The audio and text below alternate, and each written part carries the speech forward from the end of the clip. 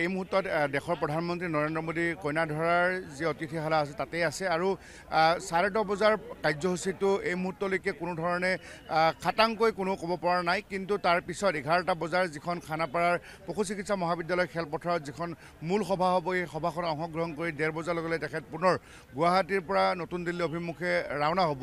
আৰু এই সভাখনৰ বাবে অসমৰ বিভিন্ন প্ৰান্তৰ পৰা যথেষ্ট সংখ্যক বিজেপি কৰ্মী তেখেতসকলে ইতিমধ্যে আহিছে। আমি বহুখিনি বিজেপিৰ নেতাকৰ্মী তেখেতসকলক দেখিছোঁ আৰু এই মুহূৰ্তত সামগ্ৰিকভাৱে গোটেই পৰিৱেশটো আমি ইয়াত দেখুৱাইছোঁ যে কেনেধৰণে তীক্ষ্ণ নিৰাপত্তাৰ দৃষ্টিৰ মাজতে ইয়াত ইতিমধ্যে ডি জি পি ডাঙৰীয়া আমি দেখুৱালোঁ। হয় সুৰেশ বৰাদা আপুনি আহিছে অকণমান আজি কাৰ্যসূচীলৈ অকণমান জনাওকচোন।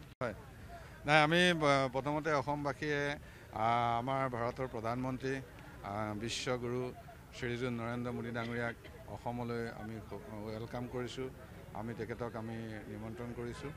গতিকে আজি ইয়াতে আমাৰ বিজেপিৰ দলৰ বিশাল মানে জনসমাৱেশ আছে তেখেতে তাত ভাষণ ৰাখিব। আৰু বহুতখিনি অসমৰ উন্নয়নৰ তেখেতে আধাৰশিলা তেখেতে স্থাপন কৰিব। গতিকে আমাৰ সকলোৱে মৰমৰ মুখ্যমন্ত্ৰী ডক্টৰ হিমন্ত বিশ্ব শৰ্মা ডাঙৰীয়াও আছে।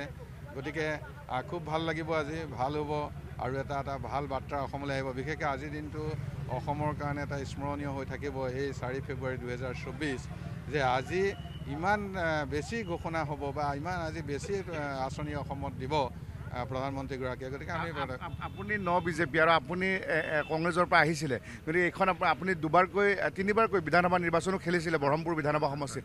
আপোনাৰ কাৰণে এইখন বিজেপি ডাঙৰ সভা প্ৰথম হ'ব নেকি? মোৰ কাৰণে এখন অৱশ্যে প্ৰধানমন্ত্ৰী ডাঙৰীয়াৰ এখন প্ৰথম ডাঙৰ সভা হ'ব। গতিকে খুব আপ্লুত হৈছোঁ ভাল পাইছোঁ। মানে আপোনাৰ এতিয়া তিৱা কাউন্সিলৰ চি এম ডাঙৰীয়া জীৱন ডাঙৰীয়া আপুনি আহিছে আজি এই কাৰ্যসূচীৰ বিষয়ে অকণমান জনাওক। ন অত্যন্ত গুৰুত্বপূৰ্ণ এটা কাৰ্যসূচী। আমাৰ ভাৰতৰ প্ৰধানমন্ত্ৰী নৰেন্দ্ৰ মোদী ডাঙৰীয়া আজি যোৱাকালি আজি আহি ইয়াত উপস্থিত হৈছে। অসমৰ বিভিন্ন প্ৰান্তৰ ৰাইজ আহি ইয়াত গোট খাব। গতিকে তেখেতে ৰাইজক আহি আজি যি সম্বোধি সম- সম্বোধন কৰিব আমি খুবেই সুখী হৈছোঁ। কাৰণ এঘাৰ হাজাৰ কোটি টকীয়া যি আঁচনি ইয়াতে ৰূপায়ণ কৰিবৰ কাৰণে প্ৰয়াস কৰিছে অসমৰ মুখ্যমন্ত্ৰী ডক্টৰ হিমন্ত বিশ্ব শৰ্মা ডাঙৰীয়াই।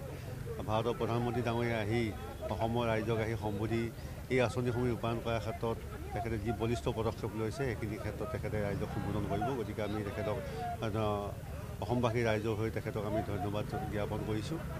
ধন্যবাদ। এয়া আছিলে জীৱন কোঁৱৰ তিৱা কাউন্সিলৰ তেখেত চি এম। আৰু এই মুহূৰ্তত আমি পৰিৱেশ দেখুৱাইছোঁ আমাৰ কেমেৰা পাৰ্চন পলাশেও দেখুৱাই আছে যে খানাপাৰা পশু চিকিৎসা মহাবিদ্যালয়ৰ সন্মুখত এনেধৰণে যিসকল প্ৰায় ডেৰ লাখমান লোক বিজেপি কৰ্মী তেখেতসকল আহিব বুলি আশা কৰিছে। এয়া আমি দেখুৱাইছোঁ যে তেখেতসকল বিভিন্ন মহিলা ইয়াত আহি অহা আমি দেখিছোঁ কুইন বাইদেউ আছে আমি বাইদেউৰ পৰা দুই লাইন ল'ম। বাইদেউ বাইদেউ আজি প্ৰধানমন্ত্ৰী ডাঙৰীয়া আহিব। অতি আনন্দিত। হয়। অসমবাসী অতি উৎফুল্লিত। প্ৰধানমন্ত্ৰী ডাঙৰীয়া বাৰে বাৰে আমাৰ তালৈ আহি আছে। আমি দেখিলোঁ স্বাধীনতাৰ কালৰ পিছত এগৰাকী প্ৰধানমন্ত্ৰী যিগৰাকীয়ে অসমৰ প্ৰতি থকা দৰদ টান মৰম চেনেহ আৰু বহুবাৰ আহিলে। এইবাৰো তেখেতে আহি আমাক বহু উপহাৰ দিব। যোৱাকালি আমি তেখেতক আদ- আদৰিলোঁ কিন্তু ৰাস্তাৰ দুয়োকাষে স্বতঃস্ফূৰ্তভাৱে ৰাইজে যেনেকৈ তেখেতক আদৰিলে এইখিনিয়ে বুজি পালোঁ যে অসমবাসীৰ ৰাইজে মোদী ডাঙৰীয়াক কিমান ভাল পায়। আমিতো ভাল পাওঁৱেই। আৰু তেখেতে অসমবাসীক বহুত ভাল পায়। সেইকাৰণে বাৰে বাৰে অসমলৈ আহে আৰু বহু উপহাৰ আমাক দি থৈ যায়। গুৱাহাটী গুৱাহাটী যি লোকসভা সমষ্টিৰ সাংসদ কুইন ওজা তেখেতে ক'লে যে তেখেতসকলে ভাল পায় আৰু প্ৰধানমন্ত্ৰীয়ে বহুখিনি উপহাৰ দিব বুলি জনাইছে গীতাশ্ৰী।